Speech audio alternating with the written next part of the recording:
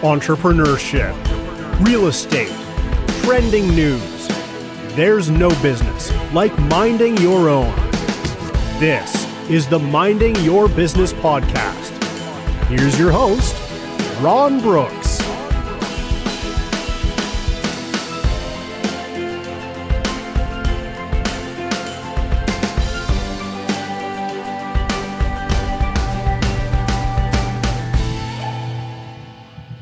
Yeah, yeah, this is Ron Brooks, and this is the newly revamped uh, the Minding Your Business podcast, formerly known as the I Really Mean It podcast. So glad you could join on Friday, January the 19th of 2018. Um, you might ask, well, why the hell am I so excited? Today's my 37th birthday, so I am uh, definitely. Um, excited, definitely uh, pumped up about today, as I am about every day. And uh, so that's no different. But man, I'm excited. Justin, what's going on, brother? Um, good brother, uh, Justin, that's representing uh, Memphis out in L.A. Uh, good brother I grew up with. Uh, Marlene, how you doing? good afternoon. Thank you for joining. Um, man, I, am excited about my birthday. I'm, I'm here. I'm, I'm, working from home again today. Uh, many of you, some of you had kids go back to school after about a week long break, uh, their extra extension of uh, Christmas break. Um, from those on the podcast, I am on Facebook Live. Uh, as well, and uh, talking to some of the folks on here uh, here in Memphis, we had uh, some ice and snow that came in on last week, and it's kind of had the city down a little bit.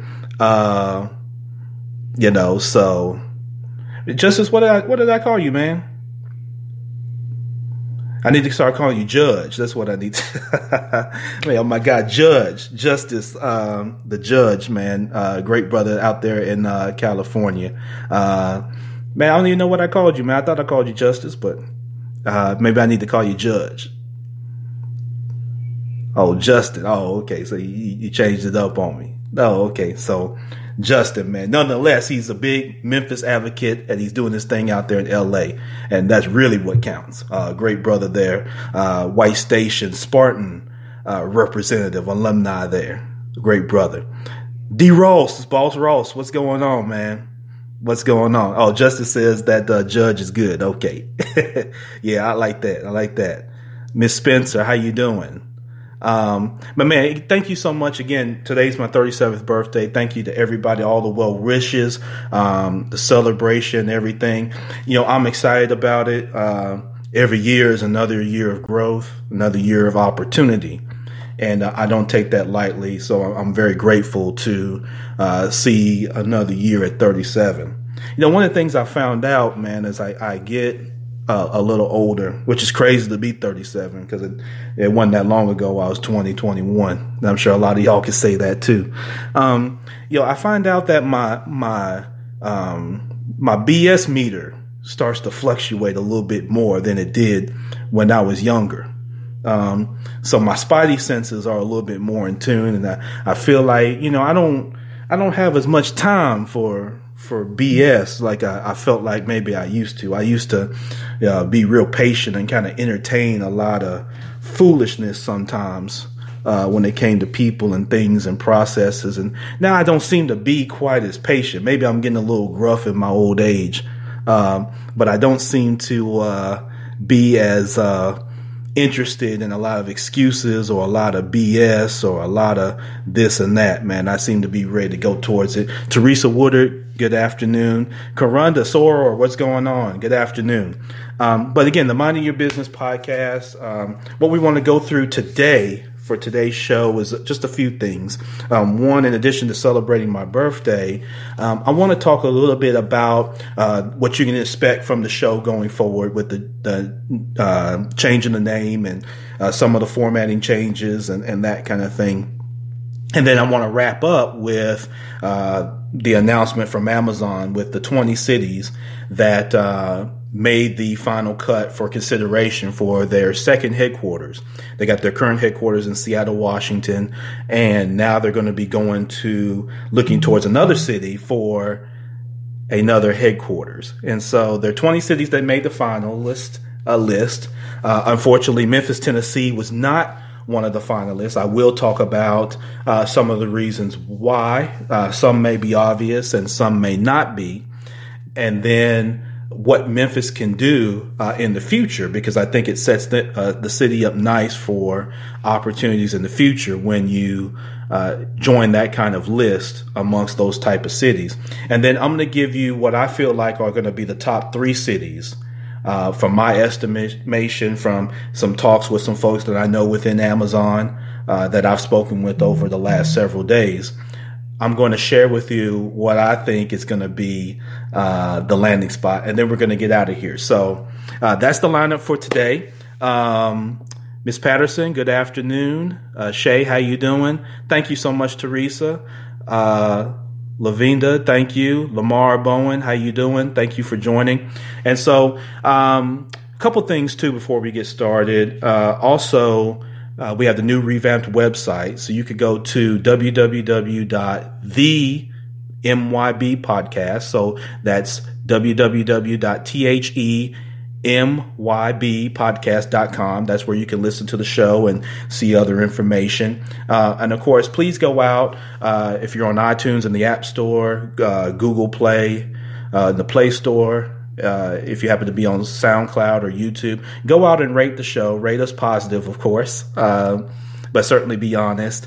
And go out and give us a rating. That does a great thing with promoting the show and helping to uh, grow the show and the audience. And so that's what we want to be able to do right here. Um, also, make sure to check out uh, a few things that I've got going on. Uh, the RG Brooks Development Consortium, which is a uh, training platform for real estate and for uh, community kind of legacy living edification type uh, platforms to help our community you can go to rgbdc.org. That's rgbdc.org and uh, learn a little bit more about that. Um, also, my consulting business. So I'm working with actually three businesses right now uh, to help them kind of grow and edify their business. And uh, those will be coming on the podcast as well to talk about that. Um, but that's at brooksbrothersconsulting.com. So www.brooksbrothersconsulting.com. Brooks Brothers Consulting is where I work with uh, uh, various business owners to help them, um, you know, uh, manage through debt, manage through the planning process of their business, uh, whether they've been in business for some time or they're brand new or they just have an idea. Uh, I'm able to leverage uh, my resources and leverage my expertise in starting up a business and uh, actually running it and getting it to a certain scale. So, those are some things I want to make sure that I share with you kind of early on. Mickey Renee, thank you so much, lady, uh, for the birthday wishes. Thank you for joining, Terrence.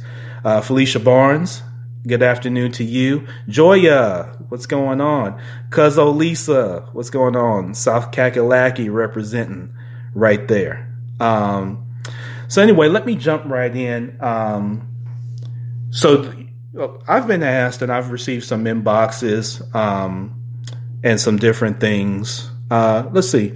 Uh, is this it? Yeah. Roberto saying Ron at the. So it's not V, uh, Roberto. It's Ron at the T H E M Y B. So Mary Yellow Brown podcast.com. So it's Ron at the MYB podcast.com. Um, so I received inboxes and uh, information and questions about why change the name from the I Really Mean It podcast to the Minding Your Business podcast. And, you know, as I looked at it, so this is our 30th episode. We started August, around August 11th of 2017. Um, so I'm uh, you're definitely grateful for kind of where we are. And, you know, one of the reasons for the name change, y'all, is I wanted to be able to begin um, kind of promoting the show kind of at a, um, a larger scale. And one of the things that you, when you look at in business is you want to make sure, particularly in podcasting, um, but even with any business name is you want to make sure that when people see your work or your entity that they have some idea of what it is prior to even reading about it, prior to you telling them about it and that kind of thing. Uh, the I Really Mean It podcast, when you think of the word or the phrase, I really mean it, uh, it doesn't really tell, at least in, in talking with some mentors and looking at it within myself, it doesn't really give a sense of what the show's about. So what you have to do then is you have to then read the description, you have to listen to some shows and things like that. And you know that attention spans are really short uh, these days. And so people don't allow you the luxury of a lot of time to go through that kind of progression because there's so many different podcasts, there's so many different things coming at all of us, right? All the time. So you got to be able to strike really fast. And so in looking at that and looking at the, the show content and things like that, and for those of you that know me, know that uh, I had a business at one point in time that I since have sold that was called Minding Your Business. And so being able to readopt uh, that name and have it be a nice fit so that when you pull up the show and you see minding your business, you know exactly what you're getting. You know exactly what I'm going to be talking about. You know, I'm going to be more than likely talking about some form of business, right? Um, so it's not going to be kind of just like all over the place. So there are three things that are going to make up uh, the content of the show. Um, number one being entrepreneurship. And if you've been listening to the podcast, you know that um, my take on entrepreneurship is, is kind of slightly different because I like to make sure that one, I define what entrepreneurship is, and entrepreneurship takes a, a number of different forms. Uh, you've seen me refer to myself actually as an entrepreneur. And so I'll talk more about that. And I've talked about that on previous podcast shows, but um, there's entrepreneurship, there's business ownership, and sometimes those are different depending on which lane that you're taking. They're not one and the same. Uh, oftentimes, what we like to do is combine business ownership and entrepreneurship and use entrepreneurship as the one umbrella, which is fine, but um, it goes a little bit deeper than that. So I really want to dig into that and, and provide best practices on uh, whether you're working a nine to five job and you need to have an entrepreneurship mindset on the job, either to grow to the next level or to be the best that you are within it. And to be able to develop that, whether you have uh, a business on the side of your job, which many have, or you're looking to transition from uh, your nine to five job life into being a entrepreneur or a business owner full time. Uh, I want to be able to provide information, best practices, guests on the show, things like that, so that this becomes a, a, a source of um, inspiration and an informative source for you all uh, as you go on your walk, whichever way that takes. So this isn't a bash working a job type uh, show. As a matter of fact, it's funny when people do that because um, there was a time where you'd see it in your timelines where people are bashing people work a job. I guarantee you, go challenge somebody who's got a business to say, I'm not going to accept any money from anybody who got it from working a job and see what happens to their business if they did that. right? So there's no business that's turning down any money from anybody just because they made it working for somebody else. Matter of fact, having a balance of that is really what makes the diversity and the economy really go. Everybody can be a business owner and entrepreneur, right? How many y'all have sold things to or your product or things like that to someone that's purely 100% entrepreneur, right? So you need a balance of, of the two. You have to have, you know, some people who have you know, the desire to work a job, they need to be able to do that. And then some people have to be owners and you have to have a balance of that. But within all of that, everyone can have the ownership mentality. And so that's different than everybody being an actual owner themselves. So we'll talk about that um, second is real estate. One of the things that people know about me, uh, if you've done business with me or you're familiar with me, is that I'm an avid lover and investor in real estate. Um, and that takes many different forms, not so much from a, a, capitalistic standpoint of, you know, how I personally gain. Although I've done well in real estate, I've taken L's in real estate as well.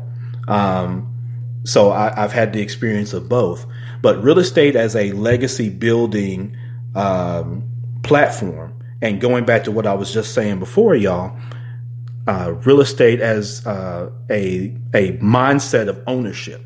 You know, one of the things that edifies, and I've, I've talked to some people, um, talked to my good friend uh, Gil Carter with the First Year Foundation Incorporated. Uh, we had a conversation the other night, and I was sharing with him about the the mindset of ownership one of the things that edifies our community is when people have that mindset and they're uh, think towards ownership because it, it gets them thinking at a higher level. When when you own something, think of how children are. You know, two, three years old. What's the first thing they say? You know, when they have something in this in their hand, they feel like they own it. They say, "That's mine," right? And they protect it. And they're not looking to, to take from somebody else because I've got mine right? And then how does mine become a resource if I'm willing to share it? Then I'm willing to share whatever I feel like I own with somebody, but I make sure that it's known that I own it, right? And then if I continue to develop that, then what may happen is now I, I show other people how they can own their own. And so that's really my approach to real estate. So you know, I'm not going to share with you that you're going to get rich quick and that you're going to, you know, do all these kind of different, uh, you know, things to make a bunch of personal income and money for yourself. So not from a materialistic standpoint, but from the mindset ownership and the, the ability to then edify the community and show growth within our community because that's really what we need the, the big thing when you see all the issues that we have, whether it's here in Memphis or uh, you go around, it's because we've lost that sense of ownership, owning your own means of production and not waiting for someone else to provide that for me or to give me that. You have to go get it. And everything's not, you know, owning real estate's not, or real estate is not about, do I have this pocket full of money and, or this great credit score or this or that? You know, don't use those as barriers right? Many people have acquired and done really well in real estate without either of the two, and not in any kind of gimmick or not any kind of underhand under under the table type stuff. So we want to be able to talk about again the best practices with that. I'm actually going to have Wayne Moody. Uh, who is uh, heavy into real estate. I look to have James Harvey. Many of you that are heavy into real estate, I'd like to have you come on the show and share some of your best practices and um, hopefully be able to entertain referrals and things like that and different avenues that you can go in real estate. Um, because there there's so many different ways you can go with real estate, with land and, and, whatnot. The third thing is we'll talk about some trending news topics, like we will today with the Amazon HQ, where we'll talk about the the 20 cities that made uh, the finalist cut. But what I want to do with the trending news topic is so you know me, I'm not going to talk about the whole gossip of what goes behind a story right? So if you go back and listen to our episode back in September, I believe it was, where we talked about the culture of sexual harassment. If you notice on that particular podcast, y'all, I didn't talk about, uh, any particular one person and you know what I feel about them or this or that. I more talked about it from a best practice standpoint on how you can make sure one that you avoid that men and women and or if you have to mitigate that ways that you can do that. Um, so i'm not getting into trending news to be gossipy or to uh, get into anybody's business or try to take a side of who's right and who's wrong and things like that. But one of the things i like about with trending news um, particularly for those of us that are of a, a higher mindset is what are the lessons that you can learn uh, and not just taking advantage of someone's folly, but what are the lessons that we can all learn, right, and best practices to avoid or to take advantage and have an opportunity to be able to do something else. Um, so, you know, taking those trending news topics and being able to provide those best practices is what we want to be able to do here on the Minding Your Business podcast. Um, so we'll have some guests. You'll hear from me. You'll hear from some other people. Um, I'm mobile. So as you've seen, like last week, I was crazy as hell enough to do the podcast outside, uh, in the freezing temperature. I've been to, uh, people's offices. Um, you know, you know, like my guy Paul Young, who's the director of uh, housing and development with the city of Memphis. Um, I've been in the office with Brittany Thornton with uh, Juice Orange Mound, and I've got several others that uh, are going to be a part of the show. So we're going to have a great time. I want to be informative for you. Um, you can uh, catch me on Twitter, on Facebook, uh, and whatnot, and uh, you can email me again at ron at the mybpodcast.com and uh, you can share uh, information if you want to be on the show, if you want to uh, provide feedback as far as things on the show, you can do that. Madonna Sanders, how you doing? Uh, Marvin, what's going on? My guy Marvin in Dallas, Texas, man. Uh, great fam right there. Marcus Tolbert, how you doing? Um, thank you so much, Chris Taylor, uh, for the birthday wishes. Jermaine Fletcher, my guy, uh, goes way back in the industry, man. Great brother, uh, Jermaine Fletcher. Uh, Miss Rochelle, how you doing? Kim Woods, how you doing? What's going on, y'all? Thank you again for listening. Uh, for those that are on the podcast, those are folks that are on the Facebook Live uh, feed uh, as we have that right now. So, all minds are clear, so you understand what we're going to be doing on the podcast going forward. Uh, actually, in next week's show, uh, we've got uh, something lined up for you where I'm going to talk about balancing personal and professional responsibility, which is a big thing as we have goals Many of you have stated that you have goals going into 2018. And one of the things that we all have to balance, right, is how do we manage our personal life and our professional life so that uh, we could achieve the type of success. So I want to talk about that and some best practices. And, and I'm going to share with you a story um, of where I fell short on both, right? And how it impacted me and how you can avoid uh, some of my folly, right? And so that's what it's about. You know, this is authentic podcast. Um, there's no fancy editing. There's no fancy whatnot. You just get me in the raw form. And I hope that, um, this could be a platform to help uh, many of you. So feel free to share the podcast, uh, and talk about it and, uh, whatnot. Uh, if you want to join, you can join on. If you comment, um, let me on Ron, then you can actually join the podcast if you like to. Um, and if you want to join in on some of the discussion. So here's what we're going to do. Um, there were 20 cities that for Amazon that were selected. So 235 cities put a bid in with Amazon, uh, who is headquartered out of Seattle, Washington. They um, narrowed that down over the last several months. I think initially the um, 235 cities put their bid in back in September, I believe. And so now they've taken, they've got through the holidays, they've narrowed that 235 city list down to 20. All right. And so I want to go through the 20 cities real quick with you all. And feel free to share uh, your thoughts if you happen to be here on Facebook Live or you are listening to this via the podcast version and you want to go to the website, you can leave comments there. Uh, you can go to my Facebook page, Ron Brooks, or at Champ Ron on Instagram and Twitter.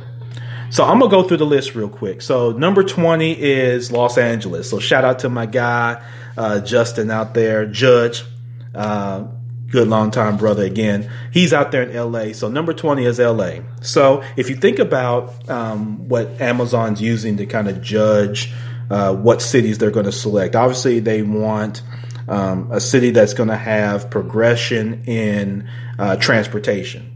So the ability to uh, transport a large mass of people, uh, particularly in public transportation, um, is believed to be something that they're looking at. Um, they want to tie to some kind of um, tech infrastructure, right? Particularly with engineers. And I'm going to talk about that uh, because my contact shared this with me that is not just solely um, people in the tech industry, but engineers is something that they're looking for. So the access to engineers that come out of engineering programs that could come right into Amazon and contribute immediately and to be able to retain them throughout their career is something that's interesting to them. Um, the other thing that's interesting for them is the ability to travel. So they need to be able to travel from whatever city they select to get back to Seattle and get to some different areas in the country. So those are just some basic things, y'all, that you know Amazon has stated overtly that they're looking for. Um, so number twenty is Los Angeles. Um, of course, you're familiar with uh, the City of Angels out in California. Um, roughly about five, six million people or so that are in uh, their metropolitan area. So it's very densely populated. Um, the business infrastructure in LA is going to be tough. they have a really tough tax structure. And then, you know, and Justice, Justin could probably come in and tell y'all, uh, traffic is, is a nightmare in LA, as it is with some other cities. Um, LA, of course, has Hollywood. They've got um, uh, some definitely some good uh, you know businesses that are housed there and things like that. So uh, there's some definitely plus. They have the climate, of course, and so Amazon's tied to Hollywood. Uh, is fairly strong, and that's going to continue to grow. So, Los Angeles has some, um, you know, certainly some opportunity to be able to be considered, but um, I, I'm not really sure that LA is really going to be on their list. So then you got uh, number 19. I'm going to Columbus, Ohio. So Columbus, Ohio, uh, if you think about it, so climate, uh, they're going to take a hit on. Um, they do have kind of a Midwestern kind of charm to it. Uh, and then travel from Columbus to Seattle is going to be a pain in the ass, right? Um, by you know certainly by plane or whatnot. You you're not really going to travel there by ground too much from there. But if you need to fly executives in and that kind of thing, that's not easy to do. Uh, matter of fact, it'd be easier for them to do it from Cincinnati, but uh, Cincinnati was not on the list. Even Cleveland would have been uh, yeah, a uh, much better maybe pick than Columbus, Ohio. Uh, Columbus also doesn't necessarily have the um, bedrock community of engineers and tech people and, and that kind of thing. Quan Todd, what's going on, brother? Uh, frat right there. Uh, Sharon McKinney, what's going on? Sister Nicole, what's going on? Dr. Durden, Dr. Diva Durden. And, uh, Renelle, how you doing, lady? What's going on? Good afternoon. Um, so Columbus, Ohio, I'm not really sure, y'all, that they're going to really be selected. They they have some challenges.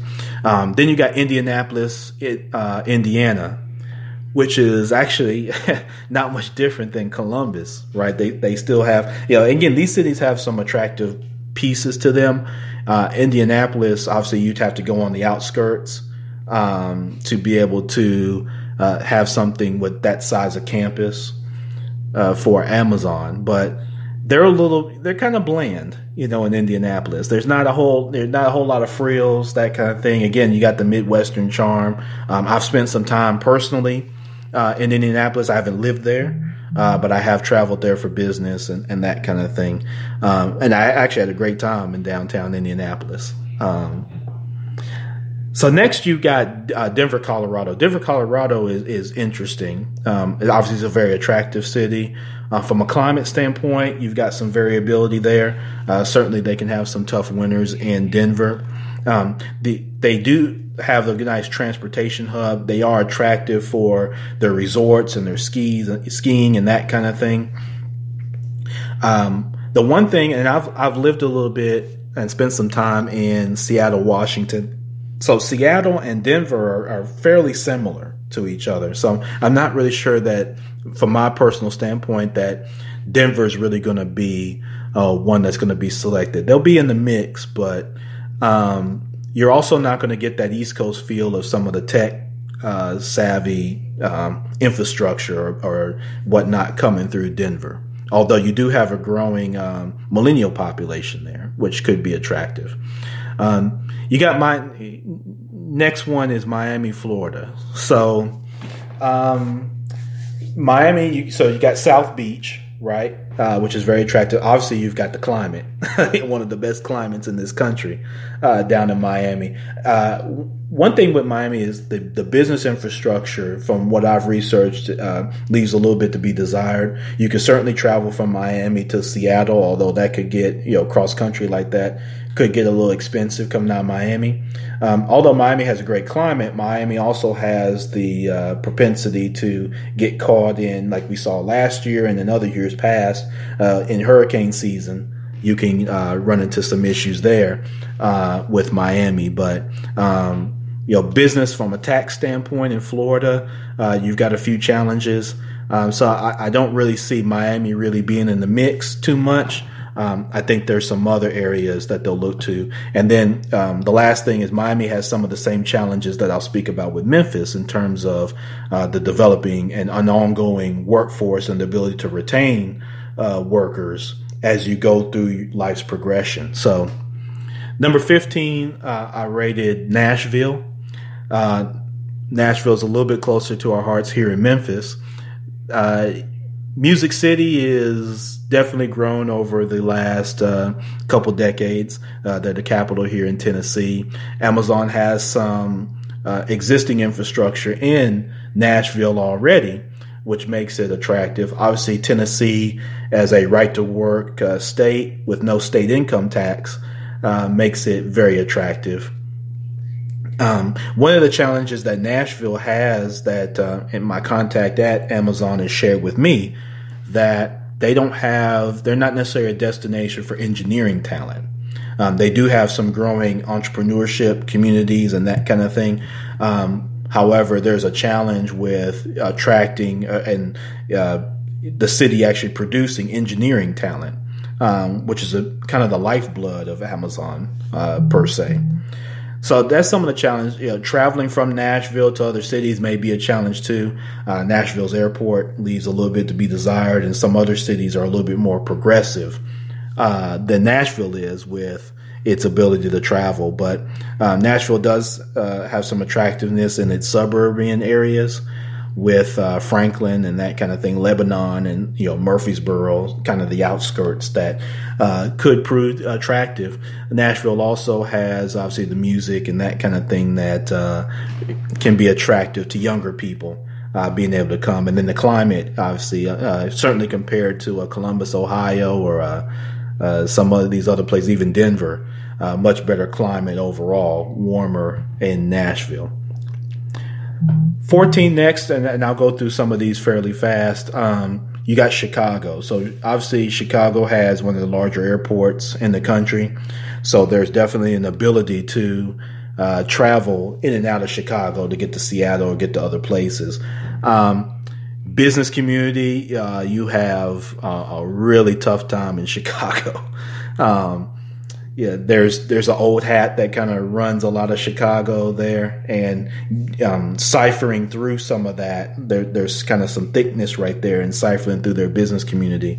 Um, you've got Boeing there uh, that you know could be a competitor, uh, not so much direct competitor with Amazon, but kind of a competitor in the fiduciary duty uh, side within the city, but centrally located.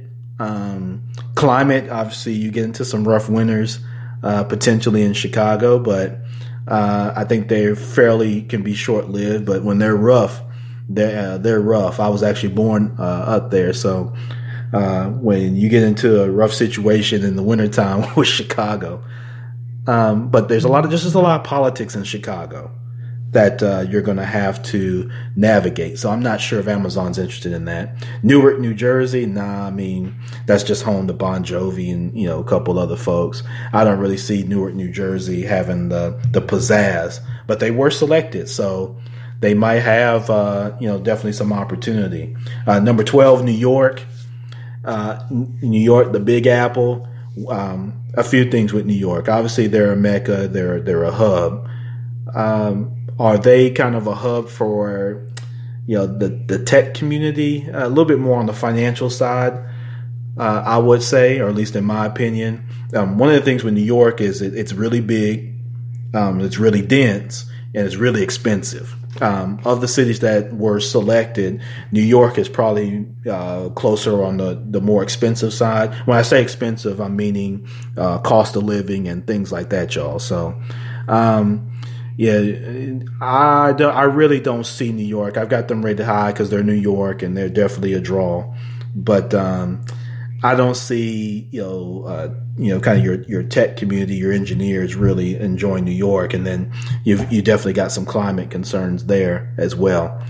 Um, one city that's interesting, although I didn't rate them as high, is Toronto, Canada. Um, Toronto's obviously growing kind of in its uh, pizzazz, and uh, you got rapper Drake and uh, Melanie Fiona and some different things uh, kind of driving some of the attention in Toronto.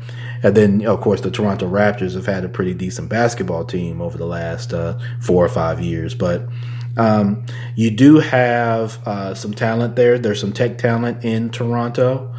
Um, you know, they got a challenge with climate. That's their big thing. Just like New York, it, it gets cold and you get a lot, some snow and ice there, uh, a good bit. But, um, one of the things with Toronto that they have working in their favor, um, they do have a recent alliance that they've kind of done with Google Alphabet.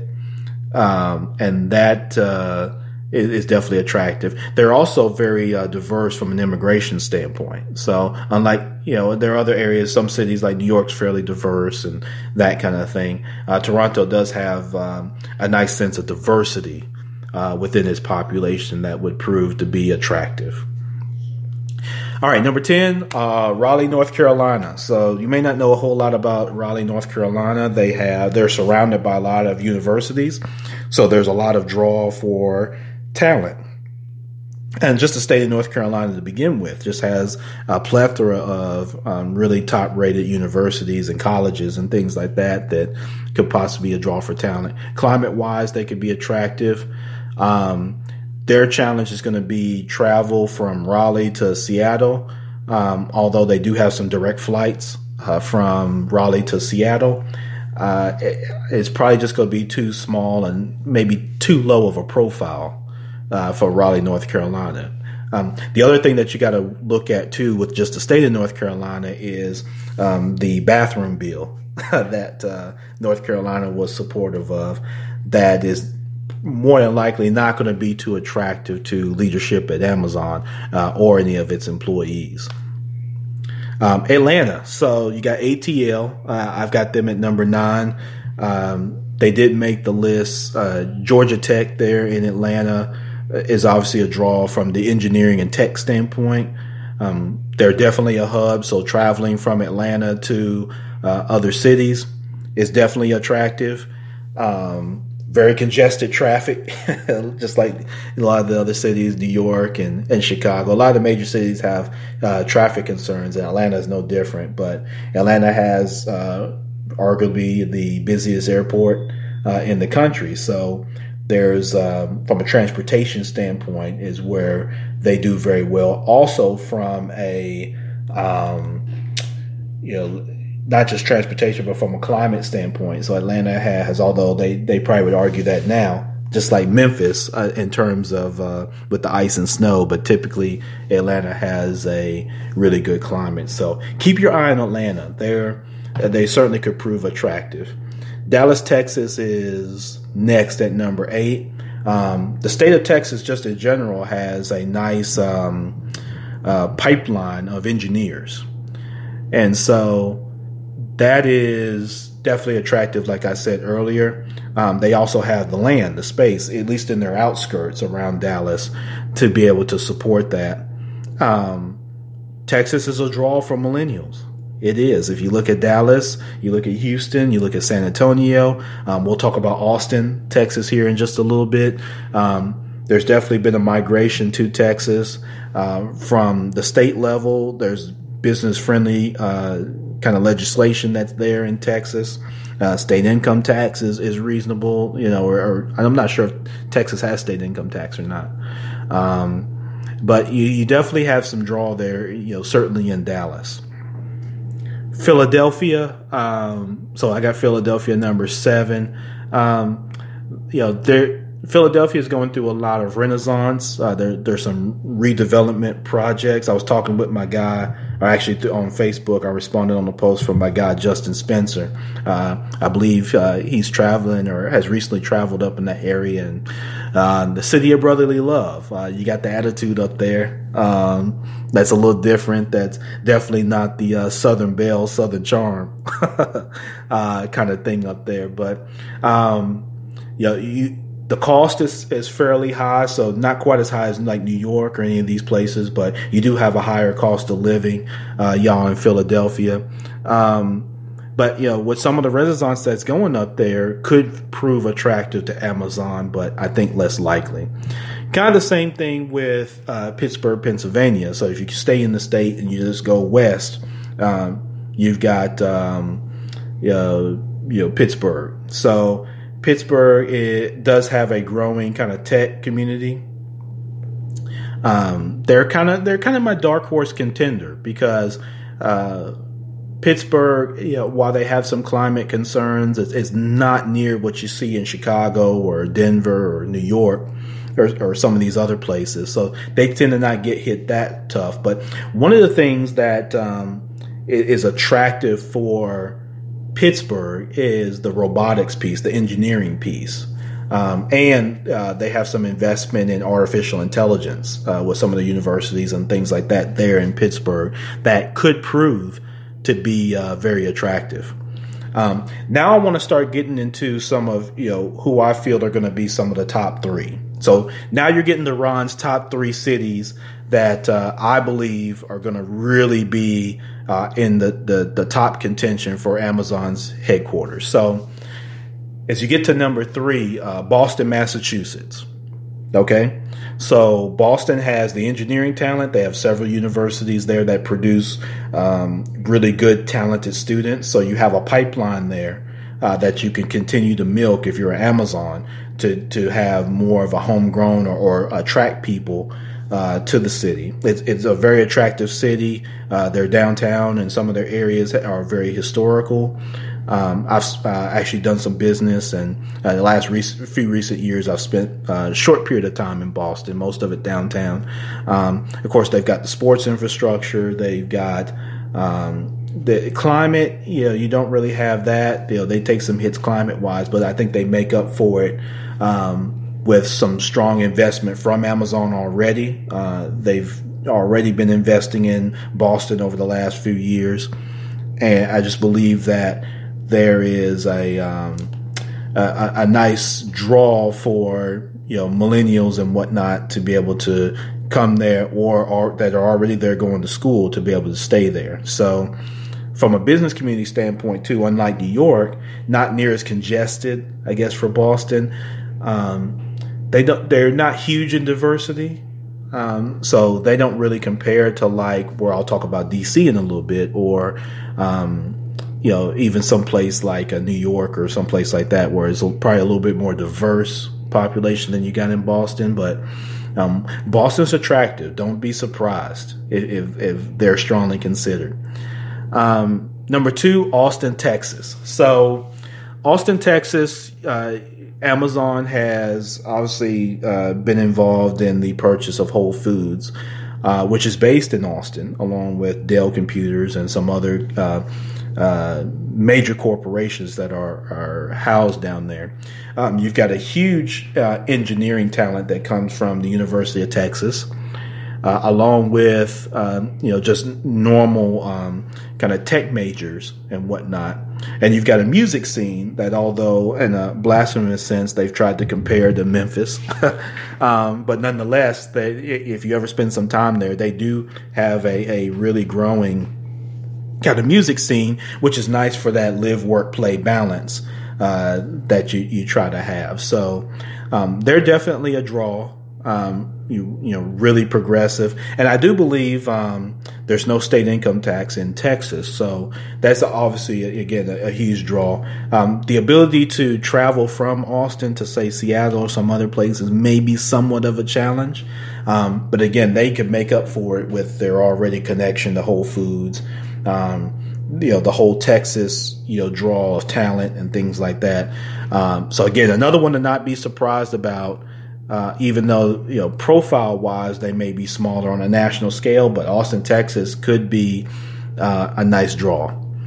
So before I get to the number one city that I think is going to attract and actually land the Amazon headquarters, let me tell y'all a little bit about why Memphis was not included in this uh, list of 20.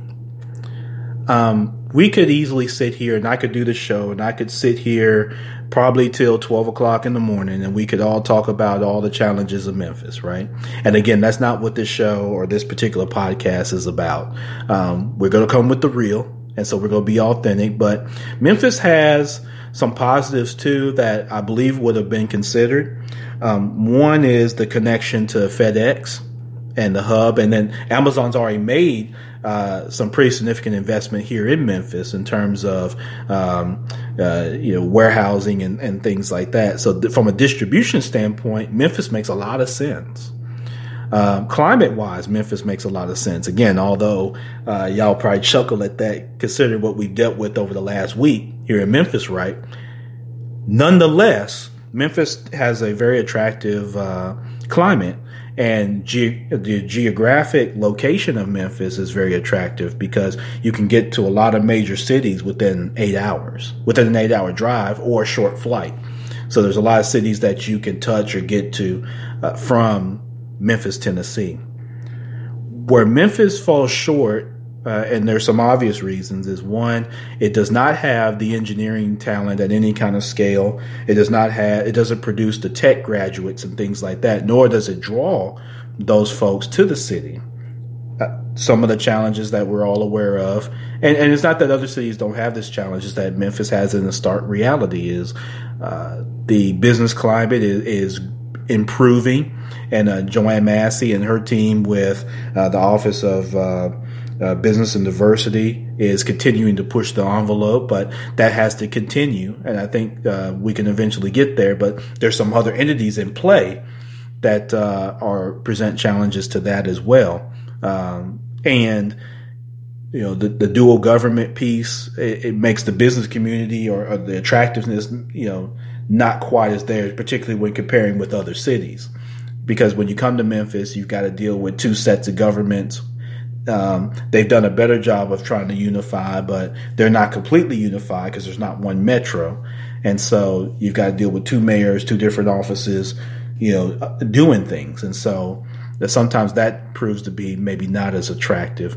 Um, but the big thing is the workforce. Um, Memphis has yet to get to a point where it produces the type of talent that is sustainable for a business that's going to hire 50,000 people, uh, unless they have to do a good bit of it or more from outside the city, which presents some benefits economically, but then also presents challenges because you have a, then you have a company from a fiduciary standpoint that is not hiring from the community in which it, it sits. So they, they would essentially make billions of dollars just out of Memphis's back door without really incorporating Memphis people to help do that and then to be able to give back. So um, there's some things that obviously Memphis has to work on. There are other things too that I haven't mentioned, but um, there, those are some stark things that Memphis would have to work on uh, to be able to uh, definitely get to uh, being on this list. But I do commend the city for and the, the county for putting their name in the hat and having some real conversations with Amazon uh, that, uh, from my understanding, were had. And it allows for Memphis to work on some things and also be considered for some things in the future, even if it's not uh, the second headquarters, because uh, you can imagine that Amazon's going to continue to grow. They're going to continue to own everything. Uh, pretty soon, everything's going to be owned by Google or Amazon. And so uh, there'll be uh, mounting pressure and opportunity in the future for a third and maybe even a fourth headquarters, whether those continue to be in the United States or they go abroad. So um, Memphis should continue to hold its head up, but you, we've got to work on, and that's why I talk about ownership. We got to incorporate the ownership mentality so that we can begin positioning ourselves in a nice light with these other cities and mitigate what our natural challenges are and highlight uh, the positives. So number one, so we've gone through that whole list to get to the number one city, and this is a city near and dear to my heart. I actually did a show when this was first announced. Uh, I did a podcast somewhere around uh, September 15th or whatnot when I happened to be uh, at Impact Hub DC, which I believe is changing its name. It's a co-working place in Washington DC. Um, great co-working place there in downtown. Uh, definitely go check those folks out if you happen to be on 7th Street there in downtown uh, DC. Um, go check out Impact Hub, uh, become a member, that kind of thing. Um, but Washington, D.C. is my number one. And, and here's why. Um, D.C., which is commonly referred to as Chocolate City and whatnot, is um, extremely diverse. Um, one of the more diverse um, locations that's on this list and diverse locations that's in this country. One of the things that Amazon is having to deal with in all of its growth is, and as they acquire businesses and corporations and things like that, is there's going to be a lot of antitrust legislation, a lot of antitrust lawsuits and things like that that they're going to have to contend with, and they already are contending with. What better place to be than in DC? if you're going to have legal matters and things like that, you need to be able to lobby and you need to be able to have connectivity and relationships to um, politicians to movers and shakers to the business community, particularly there in D.C.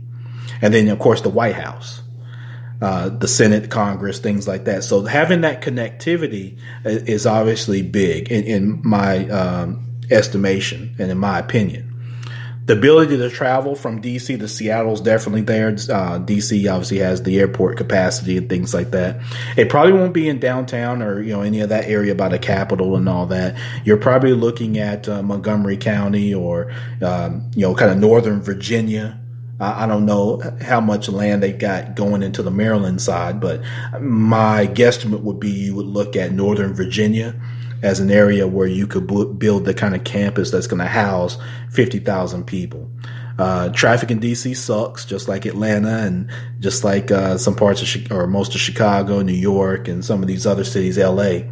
Um, but I think if you were to go more into like Northern Virginia, you could kind of offset uh, some of that challenge. But um, you you definitely have the, the connectivity to um, you know politics there and you know, of course, you've got a transportation hub, so your ability to to uh, you know move people. You've got underground, uh, you know, uh, you know, transportation. You've got bus transportation, that kind of thing there, um, and you've got several different communities that make up DC. Uh, with again a lot of diversity, which that diversity I think would be attractive to millennials. They'd be attractive to the engineering uh, talent and things like that that's already there and would prove attractive. Um, and also when you think of you know the the people that would work for Amazon is you got their families and the ability for um, you know family members and things like that to be able to secure jobs and start businesses and things like that. And DC presents that because of uh, one being the federal government there. So that's always hiring and uh, is always looking for talent, and for the most part pays uh, you know fairly well. So um, th- all these reasons get to why I believe that uh, DC y'all is going to be uh, the best thing. Reginald Mitchell here on Facebook says uh, he lived in DC for three years and loves DC. Yep, I'm telling you, man, Reginald, I, I love DC too. I lived there for a short period of time and just love it. Um, let's see, I did not know they want to house 50,000 employees. DC and Austin makes sense. Yeah, Reginald. So, you know, their, their HQ generally is going to have 50,000 employees. That was going to be a challenge for a lot of the cities, right? Memphis included. Because uh, Memphis taking in 50,000 people that are making an average of 70 to $80,000 a year are going to, obviously, you know, the economic um, impact is huge, right? In the positive sense. Um, but the challenge is, is you got to be able to meet the needs for those people. You got to have the school systems. You got to have uh, the infrastructure. Could you imagine in, in Memphis if you added 50,000 people to our infrastructure that are all going to be getting up in the morning traveling, traveling in the evening time? You know, you, you got to have the infrastructure. Um, one of the things, um, to Reginald Mitchell's point that I actually uh, spoke to some people downtown about Memphis was offering them Audubon Park. I would give them the whole damn thing, including Oak Court Mall and everything else. And damn all the ownership and all that. Um, I know that's all in place, but um, I would have gave them that whole campus, that whole golf course right there, right by um, uh, what is it? The uh, the uh, the outdoor part. Uh, you got Audubon and you got um, whatever the little area is over there. But I would have gave them that whole area. The problem is, is between Poplar and Goodlett and Park Avenue, all that stuff's like two lane, and you you're just not gonna be able to do that when you add fifty thousand people to a campus like that. But I would have offered them the whole damn thing and let them build it. I would gave it to them, and I would have let them you know build up the campus and uh, you know, the, the revenue just from that would have been, you know, just off the charts. So that whole area right by the University of Memphis, not far from it, where you would have built up that entire campus, um, gave them, give them Oak Court Mall, give them that golf. We got enough golf courses right? There's plenty of places you can go play golf here in Memphis. So give them Audubon that and let them build up the whole campus right there. That was just my opinion and just thought.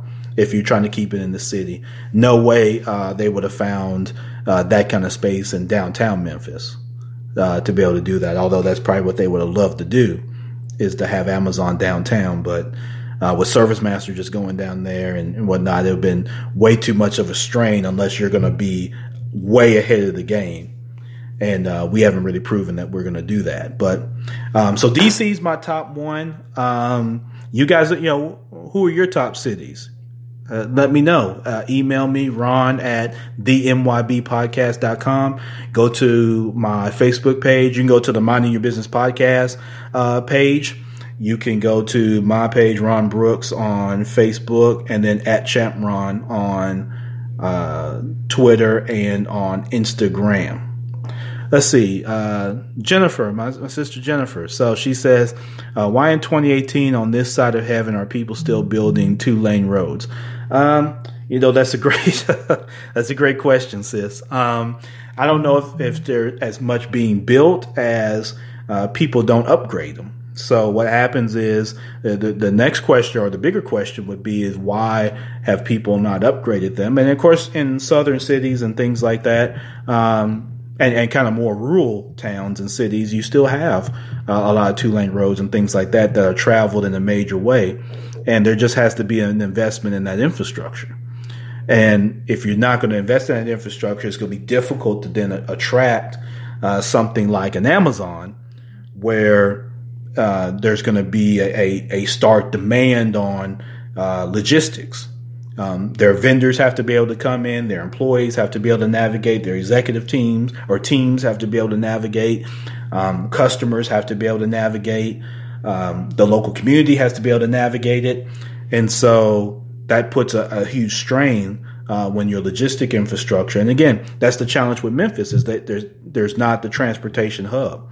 Everything in Memphis is reliant on owning an automobile you know, in a city that has uh, poverty concerns like we do. So uh, that's where you get that. Let's see. Shonda says they don't want the growth in those cities, towns.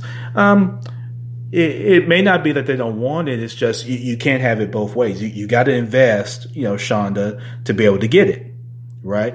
So towns that are still small or are still trying to keep, you know, that sense of kind of uh, the charm by keeping those kind of small, you know, uh, infrastructure logistics uh, layouts or platforms are going to find it difficult when a large major corporation like an Amazon shows up that, you know, to be considered for, um, you know, their headquarters. So a lot of towns and cities look at the upside with the revenue potential that could come and the type of people that they bring to the community or, or that kind of thing and the visibility of it and the fiduciary piece of it, what it means for your nonprofit communities and things like that. When you bring in an Amazon with 50,000 folk making 70, 80, 90, $100,000 a year, that's kind of the thing. So until, you know, those towns make that commitment, if they're willing to make that commitment, you know, and, and some just hope that, you know, uh, Amazon just chooses them you know, um, they may not be willing to make that kind of commitment. So, my boy Darnell Williams, who I saw when I was uh, last, uh, grew up with him. Um, Darnell is there actually in DC. He says there's too much traffic in DC. Yeah, brother, I agree with you. Um, when I was just there with you, uh, Darnell gave me a ride to the airport. Uh, shout out to him when I was there last in uh, September, and uh, I got you know I could see again. You know, had to get back used to uh, being able to see that kind of traffic. So yeah, within the main core, Darnell's right. Uh, traffic is atrocious in DC. Um, however, what you know, you know, what I would think they would do to overcome that would be uh, being kind of in the Northern Virginia area where the campus would be held, and then you know their leadership teams or whatnot would be probably traveling into the city, so they would have to find a workaround uh, with that. But uh, I, I, believe that uh, they may be coming your way, Darnell, man, uh, as far as with Amazon, and uh, you're probably one of the people, given Darnell's background in cybersecurity, he's one of the people that uh, they certainly would want to make sure that they're connected with. So uh, they may be coming to see you, brother.